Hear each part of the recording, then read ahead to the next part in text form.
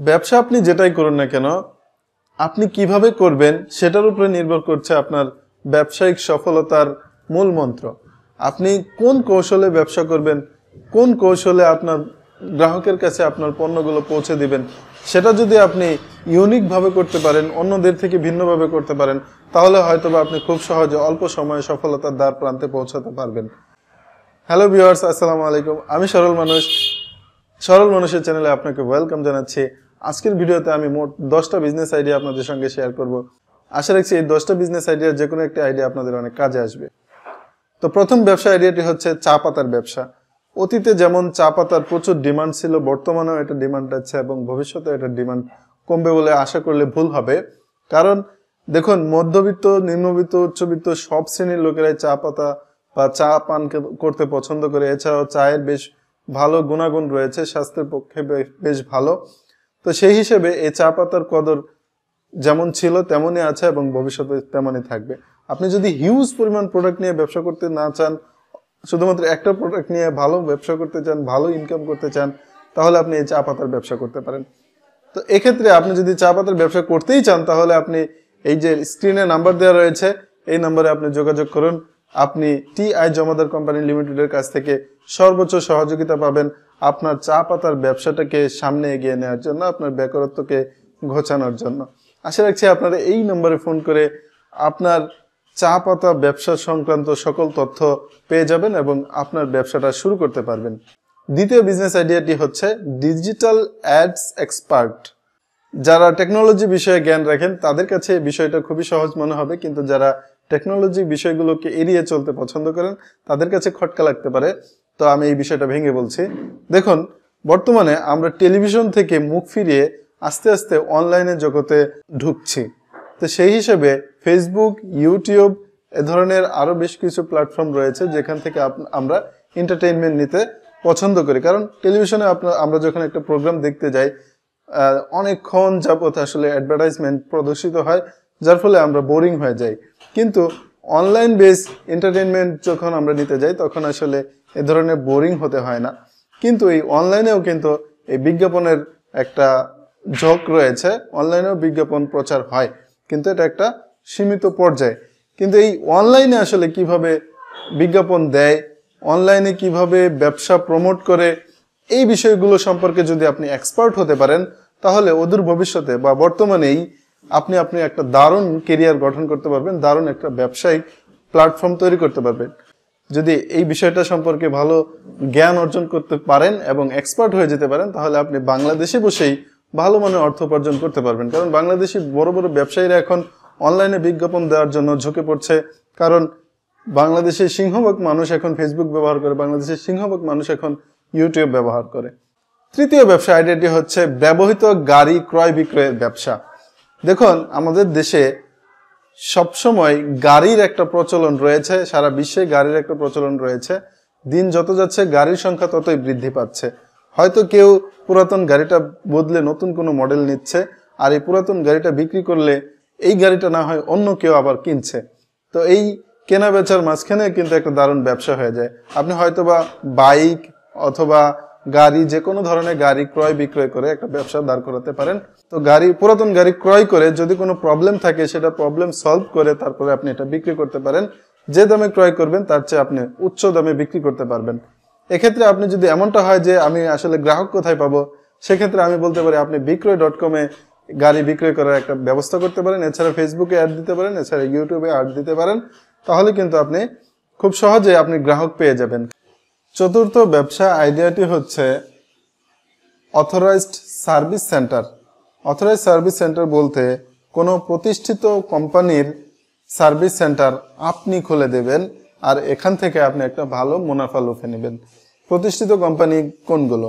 Samsung, LG, Butterfly, Xiaomi, Symphony এ ধরনের প্রতিষ্ঠিত কিছু কোম্পানি রয়েছে যারা আসলে বিভিন্ন এলাকায় সার্ভিস সেন্টার খুলতে চায় এবং এ ধরনের উদ্যোক্তা খোঁজে।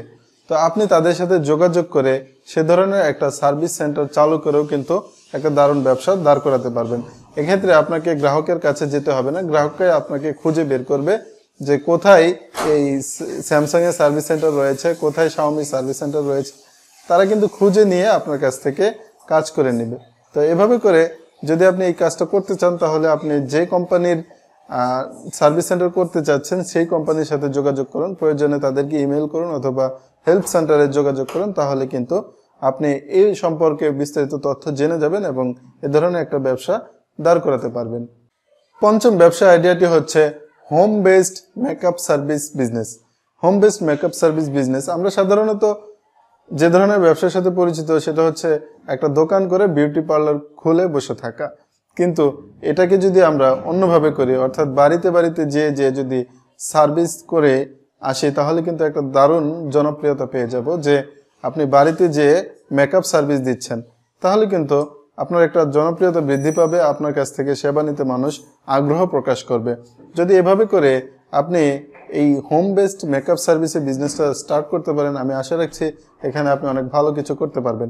এক্ষেত্রে আপনার প্রচারণার জন্য আপনি চাইলে একটা ফেসবুক পেজ ক্রিয়েট করতে পারেন, এছাড়া একটা ইউটিউব চ্যানেল করতে পারেন, যেখানে আপনি আপনার কর্মদক্ষতাকে প্রদর্শন করিয়ে এলাকার মধ্যে আপনার একটা নামধাম করানোর চেষ্টা করবেন। এবং এই যে একটা নামধাম হবে, এমনও হতে পারে যে আপনি কোনো মিডিয়া কর্মীর মেকআপ আর্টিস্ট করার জন্য ডাক পেতে পারেন। যদি তেমনটা হয়ে যায়, তাহলে তো আপনার কেরিয়ার অনেক উপরে উঠে যাবে। তো আপনি যে ভালো কাজ জানেন, সেটা জানান দেওয়ার জন্য আপনি সোশ্যাল মিডিয়াগুলো ব্যবহার করতে পারেন। ষষ্ঠ ব্যবসা আইডিয়াটি হচ্ছে অথরাইজড কোম্পানিতে নিজের প্রোডাক্ট বিক্রি করা। বর্তমান সময়ে অনলাইন যুগ চলছে আর এই অনলাইন যুগে বেশ কিছু প্রতিষ্ঠিত ওয়েবসাইট রয়েছে যাদের মাধ্যমে আপনি আপনার পণ্য বিক্রি করে একটা দারুণ ব্যবসা করতে পারেন। যেমন দারাজ ডট কম আজকের ডিল ডট কম অথবা ডট কম এ ধরনের বেশ কিছু প্রতিষ্ঠিত ওয়েবসাইট রয়েছে যারা আসলে দেশব্যাপী প্রোডাক্ট ডেলিভারি দেয় এবং বিভিন্ন উদ্যোক্তাকে তাদের ওয়েবসাইটের মাধ্যমে পণ্য বিক্রি করে ব্যবসা করার সুযোগ তৈরি করে দিয়েছে। তো আপনি চাইলে দারাজ ডট কমের দারাজ ডট কম বিক্রয় ডট কম আজকের ডিল ডট কম এই এই ধরনের ওয়েবসাইটগুলোতে আপনার প্রোডাক্ট বিক্রি করে একটা দারুণ ব্যবসা দাঁড় করাতে পারবেন। হতে পারে আপনি যে কোনো পণ্য নিয়ে কিন্তু একটা ব্যবসা দাঁড় করানো যায়। এক্ষেত্রে আপনার কোনো দোকানের প্রয়োজন হচ্ছে না। আপনি কোনো প্রকার দোকান ছাড়াই বাড়িতে একটা স্টোর করে সেখান থেকে আপনি কিন্তু পণ্য সারা দেশে বিক্রির একটা ব্যবস্থা করতে পারবেন। সপ্তম ব্যবসা আইডিয়াটি হচ্ছে টয় ম্যানুফ্যাকচারিং বিজনেস দেখুন, বর্তমান সময়ে যে ধরনের খেলনাপাতি বা যে ধরনের টেকনোলজির সাথে বাচ্চারা পরিচিত, হয়তো দশ বছর আগে আমাদের বাচ্চারা সে ধরনের টেকনোলজির সাথে পরিচিত ছিল না। দশ বছর আগে বাচ্চারা পুতুল নিয়ে খেলতে পছন্দ করত, কিন্তু এখনকার বাচ্চারা কিন্তু পুতুল নিয়ে খেলতে পছন্দ করে না। এখনকার বাচ্চারা হয়তো বা বাইক নিয়ে খেলবে ইঞ্জিন চালিত গাড়ি নিয়ে খেলবে, এ ধরনের বর্তমান যুগের সাথে যে ধরনের পণ্যগুলো, যে ধরনের খেলনাগুলো তাল মেলাতে পারে, সেই ধরনের খেলনাগুলো নিয়েই খেলবে। তো সেক্ষেত্রে আপনি কি করবেন? সেক্ষেত্রে বাচ্চাদেরকে এই ধরনের খেলনাই তুলে দিতে হবে। তো এ ধরনের একটা ব্যবসা আপনি দাঁড় করাতে পারেন, অর্থাৎ খেলনা তৈরির ব্যবসা। তবে বাংলাদেশি যারা রয়েছেন, তারাও কিন্তু এই ব্যবসাটা শুরু করতে পারেন, এক্ষেত্রে আপনাকে একটু কষ্ট করে ইন্ডিয়া থেকে অথবা চায়না থেকে মেশিন কিনে এনে ব্যবসাটা শুরু করতে হবে। অথবা আপনি চাইলে যারা বাংলাদেশে বসেই বিভিন্ন দেশ থেকে মেশিন আমদানি করে, তাদের সাথে যোগাযোগ করেও টয় ম্যানুফ্যাকচারিং মেশিন কিনে এই ব্যবসা শুরু করতে পারবেন। অষ্টম বিজনেস আইডিয়াটি হচ্ছে ফয়েল ব্যাগ ম্যানুফ্যাকচারিং বিজনেস। বর্তমানে বাংলাদেশে ফয়েল ব্যাগের প্রচলন বৃদ্ধি পাচ্ছে। যদিও বাংলাদেশে এই ফয়েল ব্যাগের ব্যবহার তেমন একটা ছিল না, কিন্তু বর্তমানে এই ব্যবহারটা বৃদ্ধি পাচ্ছে। বিভিন্ন অনুষ্ঠানে, বিভিন্ন রেস্টুরেন্টে বিরিয়ানি প্যাকেট বিক্রি করা হয় এই ফয়েল ব্যাগের মধ্যে করে এবং বিভিন্ন রেস্টুরেন্টে ওয়ান টাইম ব্যাগগুলো ব্যবহার করা হয় ওয়ান টাইম প্লেট ব্যবহার করা হয়। তো আপনি চাইলে এই ধরনের ওয়ান টাইম প্লেট তৈরি করে দারুণ ব্যবসা দাঁড় করাতে পারবেন। এছাড়া ওয়ান টাইম কাপ আছে, এ ধরনের আরও এই রিলেটেড কিছু পণ্য রয়েছে, এই পণ্যগুলো তৈরি করে কীভাবে ব্যবসা করতে হয়, সেটা আপনি একটু ঘাটাঘাটি করলেই কিন্তু জেনে যাবেন এবং এই এবং এই ব্যবসাটা করতেও কিন্তু একটা মেশিনের প্রয়োজন রয়েছে। One time plate cup bag ইত্যাদি তৈরি করার জন্য মেশিন আসলে বাংলাদেশে অ্যাভেলেবল আছে কি না সেটা আমার জানা নেই। তবে ইন্ডিয়াতে ইন্ডিয়া মার্টে আপনারা খুব সহজেই মেশিনটা পেয়ে যাবেন, কিনে এই ব্যবসাটা শুরু করতে পারেন। ওয়াটার বল বিভিন্ন পর্যটন এলাকাগুলোতে সবচেয়ে বেশি জনপ্রিয় একটা টয় বা খেলনা বা এন্টারটেনমেন্ট নেওয়ার একটা জিনিস। তো এই ওয়াটার বলের ভেতরে ঢুকে আসলে মানুষ মজা নেয়। তো আপনি চাইলে এই ধরনের ওয়াটার বল তৈরি করে ব্যবসা করতে পারেন অথবা ইম্পোর্ট করে ব্যবসা করতে পারেন। এছাড়া আপনি চাইলে যে কোনো পর্যটন এলাকায় এ ধরনের একটা ওয়াটার বল কিনে তারপরে মানুষদেরকে আনন্দ দেওয়ার একটা জায়গা তৈরি করে তারপরেও কিন্তু এই ব্যবসাটা করতে পারবেন। এটাও একটা দারুণ ব্যবসা হতে পারে। এরপর দশম ব্যবসা আইডিয়াটি হচ্ছে বাবল ব্যাগ তৈরির ব্যবসা। আমরা বিভিন্ন সময় ইলেকট্রিক পণ্য কেনার পর এই ইলেকট্রিক পণ্যগুলোকে সেফটি দেওয়ার জন্য এই বাবল বল পেয়ে থাকি। তো এই বাবল বলগুলো আসলে কীভাবে তৈরি করতে হয়, কীভাবে এইটা নিয়ে ব্যবসা করতে হয় সে সম্পর্কে আপনি ইন্টারনেটে অনেক তথ্য পেয়ে যাবেন। তো বাবল ব্যাগ তৈরি করার জন্য আসলে আপনার মেশিনের প্রয়োজন হবে। যারা ইন্ডিয়াতে রয়েছেন তারা ইন্ডিয়া মার্ট থেকে কিনে নেবেন। আর যারা বাংলাদেশে রয়েছেন তারা ইন্ডিয়া থেকে ইম্পোর্ট করে এনে তারপরে ব্যবসাটা শুরু করতে হবে। তো আপনি যখন এই ব্যবসাটা শুরু করে দেবেন, তখন কিন্তু আপনার বিভিন্ন বড় বড় কোম্পানির সাথে আপনার যোগাযোগ করতে হবে। মোটামুটিভাবে এই ছিল আজকের ভিডিওর দশটি ব্যবসা আইডিয়া যদিও কথাগুলো গুছিয়ে বলতে পারি নাই, তবুও বলার চেষ্টা করেছি। হয়তো বা কারও কাছে ভালো লাগবে, কারও কাছে নাও ভালো লাগতে পারে। তো সবাই অনেক ভালো থাকবেন, সুস্থ থাকবেন। আশা রাখছি নতুন কোনো ভিডিওতে আবারও দেখা হবে।